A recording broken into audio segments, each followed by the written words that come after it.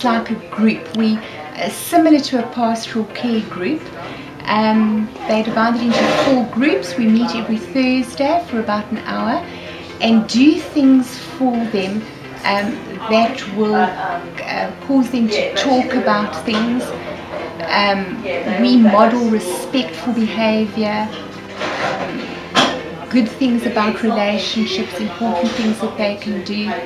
And it's also modeled on not a hierarchical system like a pastoral care group that's equal, that we can all learn from each other.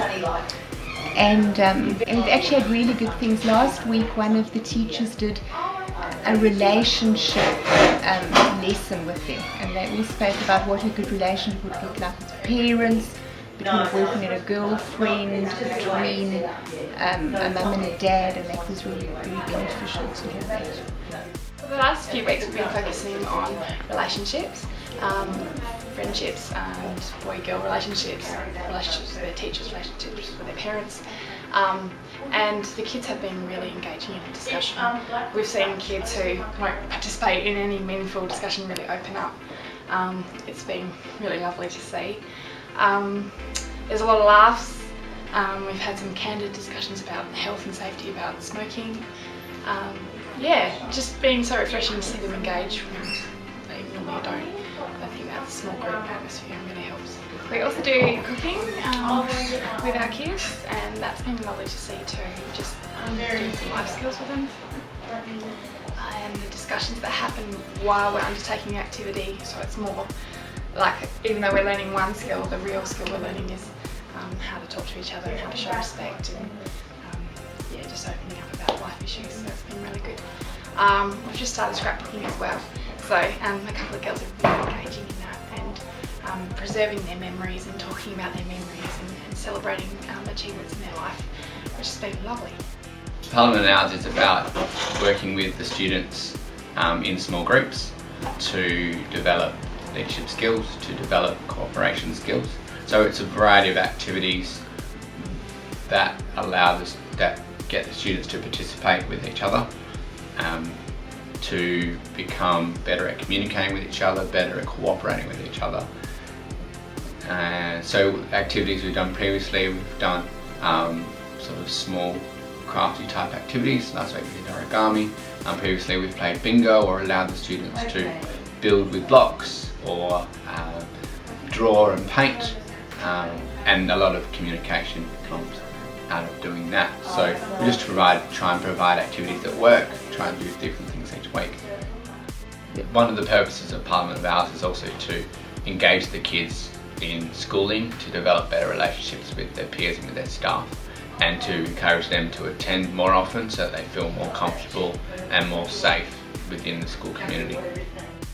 Okay, so one of the other things that we do at Corridors um, to foster engagement um, and also to get kids to attend, because um, that's one of, one of the problems is, is that most of the students that come to this school are here because they don't fit into a normal educational model.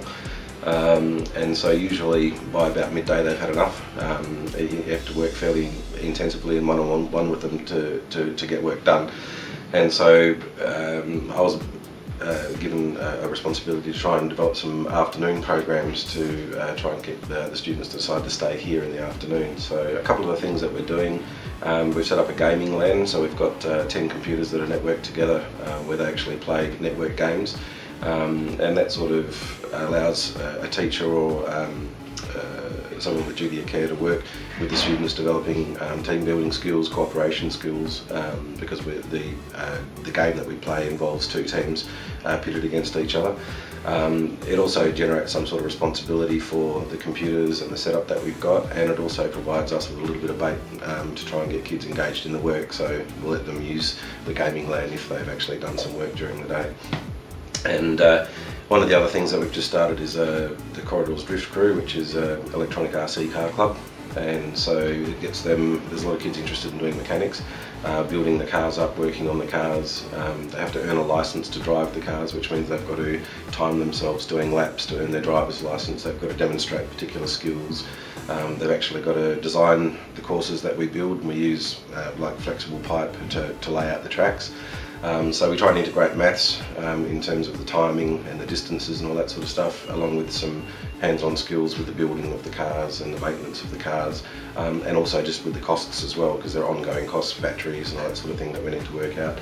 Um, maths is probably the biggest one to integrate into that because um, you can work out how many laps you're going to get out of a full charge of the battery, how long the battery is going to take to charge and all that sort of stuff. Uh, and not to mention the fact that it's something they want to do. So, you know, really the only way to get students to engage um, is if you're doing something that they're actually interested in doing. Um, and so what I've been trying to do is work out what do they want to do, um, along with the other teachers um, and, and, youth working staff. Um, so we've got you know, scrapbooking, cooking, um, a veggie patch that we've constructed and put out the back. We've got the electronic RC cars, the gaming LAN, and that's sort of what we've got rolling this year so far Parliament of Owls which has started this year. Um, basically we've got the kids into small care groups and they've got four care groups at the moment and each group does a different focus with their students. Um, so an example is last week we did relationships with our kids and we're basically building up relationships with our students and, and discussing those topics that they might not necessarily get a chance to discuss in a really appropriate way.